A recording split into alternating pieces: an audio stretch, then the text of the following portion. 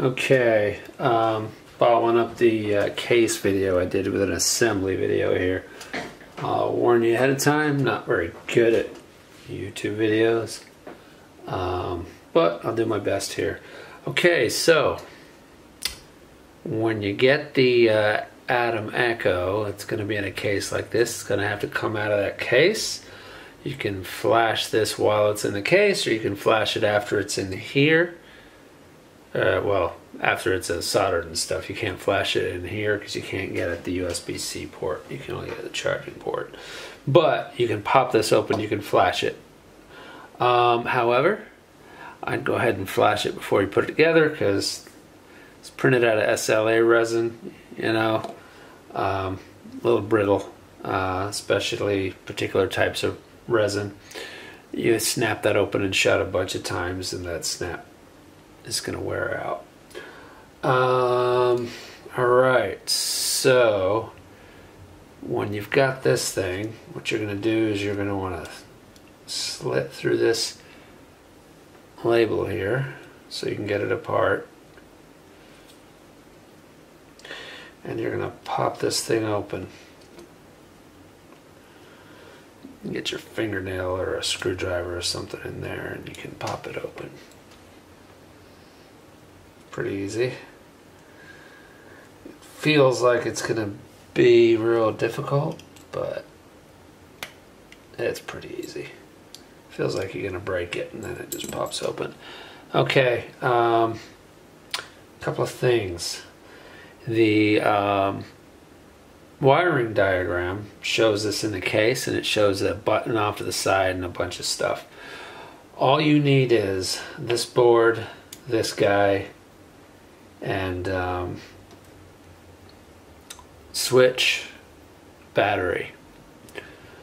Um, all right, so for this case, the uh, speaker and stuff sit, and the speaker and the dev board sit in this half. Power sits in this half. This kind of holds the whole mass together. Um, Right, so after you pop this open, kind of remember this orientation. Keep this piece handy if you want to refer to the JPEG of the uh, the wiring diagram. You know, you've got this to reference what headers these are and stuff. Now, to get this to fit in this case, because I want to make the case as small as possible, I pull this header off here. I'll show you that in a minute. Other thing I kind of should point out is do, don't pull this speaker out by the cables or um, I mean you can but I wouldn't recommend it. I've destroyed one of these already because these cables uh, these solder joints here are really tiny. A couple bends back and forth and they pop off so you want to go easy on those. So just pop that out like that. It pops out real easy.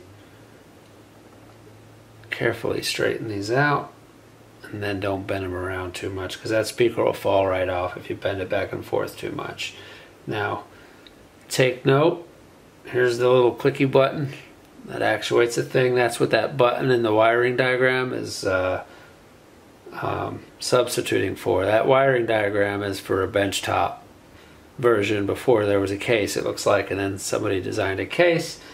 The designed case works all right, but doesn't really back stuff up. It's easy to push the um, dev board back inside it unless you like glue it in place or something. So that's that's why I added this thing. So this can't you know you can take it apart. You can take this all out and you don't have to glue anything, um, and it still works. Um, this is like this is very snugly held in place. Okay, so a couple things to note here.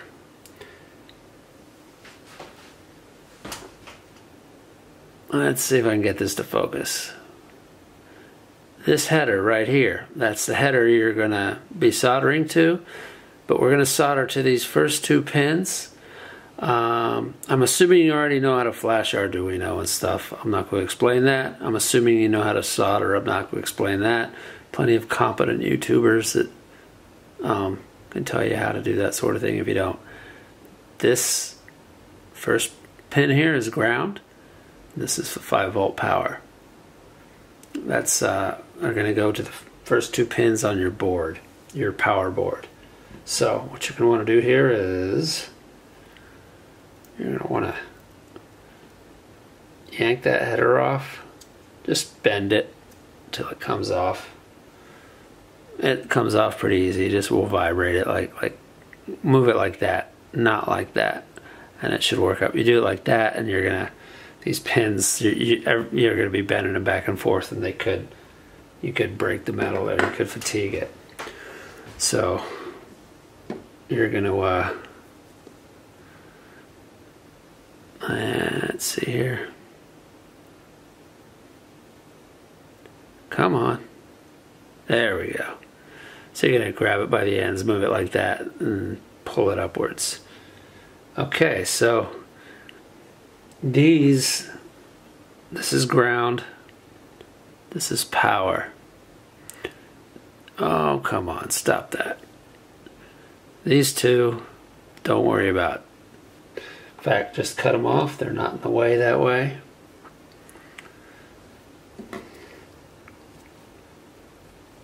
Just make sure you cut off the right ones.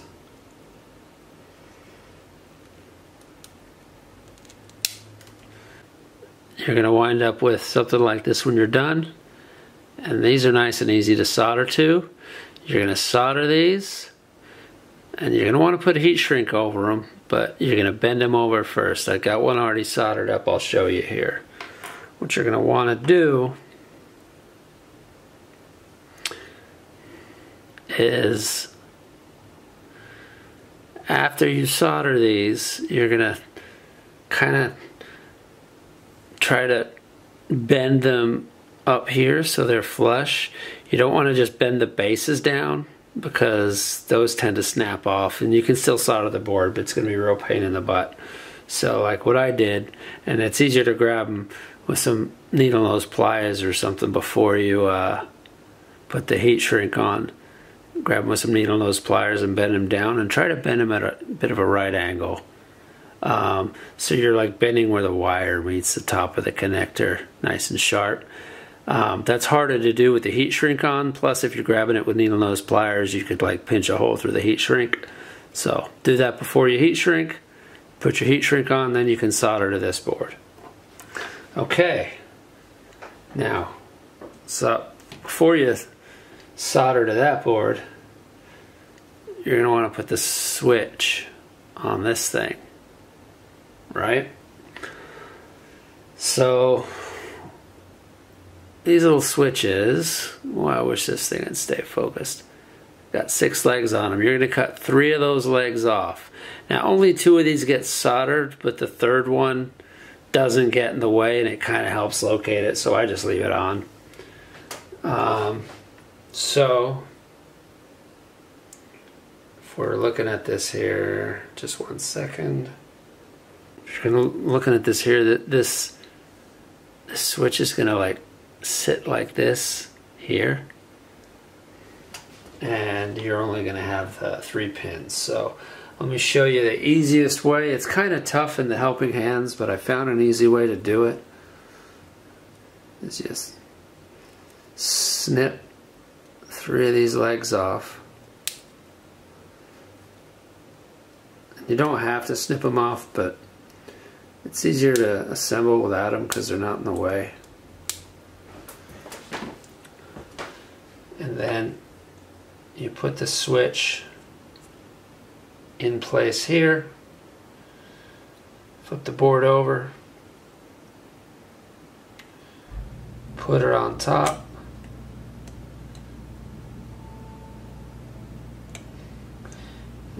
Might have to take it out.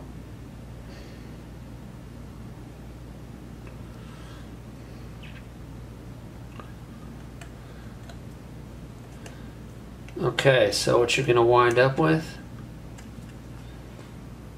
oops, there we go. So what you're going to wind up with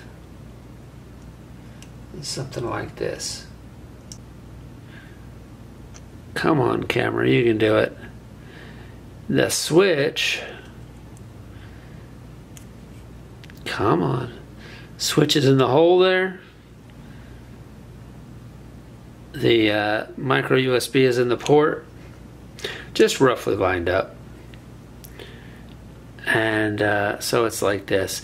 So now that it's sitting in place, you can just come in and solder it from the back side. Set it down like this. Take your soldering iron, just touch off there and there. Now you only need to solder two of those. You can solder all three. It's not going to hurt. After you solder, you want to cut them off nice and flush because this backing plate is going to be pushing on that. And if there's those legs sticking out, the case isn't going to want to close together properly. So what you got after you solder it? Okay, so we've got Oh, come on. How do YouTubers do this? So we've got ground on that first pin, 5 volt on that second. That runs down to here. 5 volt on that first pin, ground on the second. And then the switch. If I show you from the back side here, you can see the pin out. Come on. There we go. You see that pin out there? Pause it, get a good look. And you can see only two of those legs are um, soldered. Those are the only ones you really need to solder. But like I said, I'll leave that third one on for the sake of alignment. And then you're to, after soldering, you're to trim this all real nice and flush. And I solder this whole thing from the back side just because it's easier. Um, and you're to plug the battery in as well. So after the battery's plugged in, turn it on, make sure it works. If you haven't flashed this yet, this LED here is going to be white. If you flash it, it's pink. Okay, so now that that's all together, here we're going to put it in. This is a little tricky, I'll be honest. Um, all right. So, first thing, we want this. And this cutout here, that's the micro US, oops, micro USB side. So this sits in here like that. Make sure it's in there. and uh, so that switch oh come on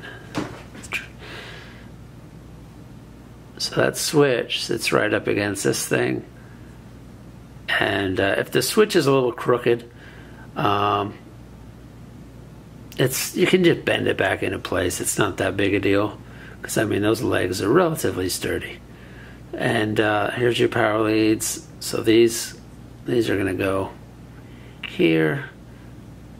Battery leads are going to go here. And uh, yeah. After that, you're going to flip it over.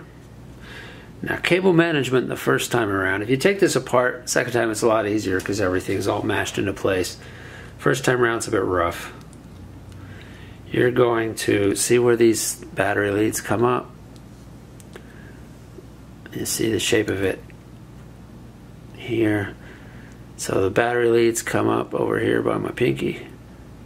You're going to put the battery in like this. Now,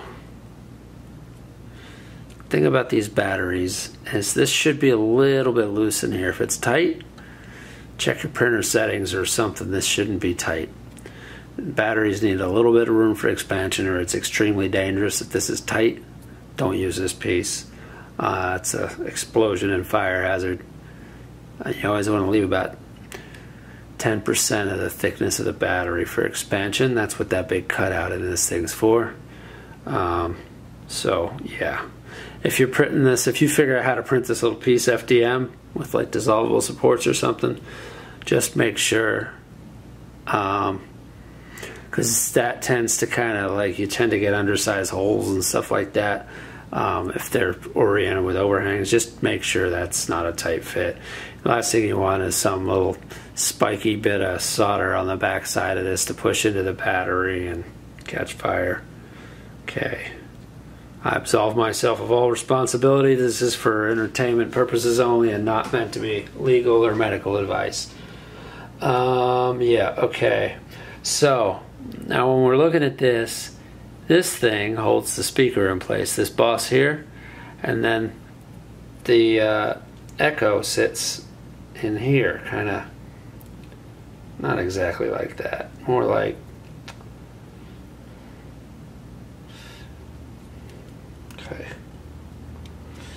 Yeah, it's easier to show you when it's in the in the case.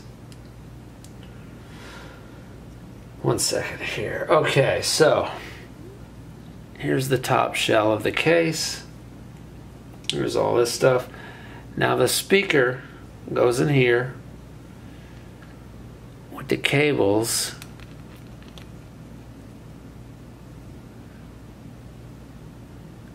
Come on, you can do it.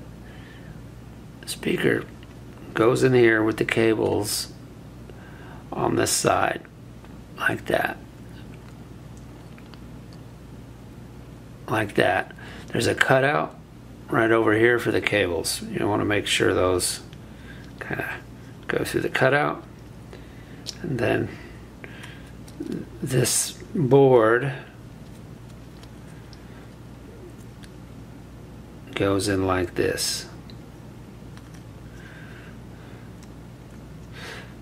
So those cables go check that cable path because it's going to be a little tight. You don't want to pinch those cables when you put this thing together. You want them to to, uh, go kind of like north of that little metal disc and then th- to that cutout into the rectangular area. And that rectangular area is where the board sits. You want to make sure the board fits in there. It's going to pop back out as you put it together. Make sure the board fits in there nicely. Um, USB-C matches up with that big cutout there. Hold it down with your finger. Make sure you feel the little button click while this is pressed down. That means everything's oriented right. The button is under the little part you push here. Right? Okay, so now, this gets a little bit tricky here, especially the first time when the cables all want to do their own thing. This has got to go together kind of like that. So that that boss right there pushes on the back of the speaker. So what you want to do is kind of like settle it in place like this. You don't have to get it too exact yet. Put your thumb on, settle it in place. Oh, come on, focus. There we go. It's hard to look at this little camera screen. Get this right. Um, and push it down like that. Put your thumb on the battery here. Hold things in place. Get the cables back where they're supposed to be. Sometimes this goes right together and sometimes it's a real pain in the butt. Okay, there we go. What we got is this. See that thing's on the back side of the battery? Um, cables are in their little slots. I grab them so they won't pop out. Put my thumb here. Now it's going to kind of want to try to push apart. Now, this piece, you want to line this up with this. And the switch, you want to be a little bit careful here. The switch hole needs to line up with the switch. What you're going to do is very lightly assemble this. I'll put that down over like that. Then you're going to look around the edges and you're going to make sure this this slot matches up with the little bump there. There's a little screwdriver slot for popping it apart. You're going to make sure those are lined up. You're going to hold it snug. You're not going to push it together yet. You're going to look up here. You're going to hmm, you're going to wait for it to focus. You see that switch isn't popping through the little switch hole. So you're going to kind of have to like massage, kind of move things around. Get that switch to come out of the, the switch hole there. All right. And then once the switch is in the right place, now you push it lightly together. If you feel any major obstructions, take it apart, look, make sure you're not pinching any cables. But generally then you can just snap it together. There you go. Turn it on. Turn it off.